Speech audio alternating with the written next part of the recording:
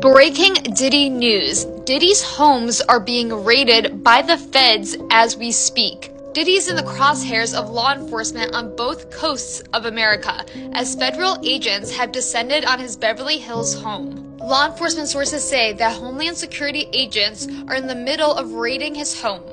And there are helicopters overhead, and local law enforcement is also present, although we're told Homeland Security is the lead agency. As you probably have already heard, there have been multiple allegations and several civil suits against Diddy, including human trafficking, all of which he has denied. And it appears to be tied to the trafficking allegations. Fox 11 posted a video that appears to show several individuals in handcuffs near the property, and as you can see, Diddy's sons also appear to be in handcuffs handcuffs, Justin and King Combs. And this footage has been released showing that the federal agents are rolling up to Diddy's home via water.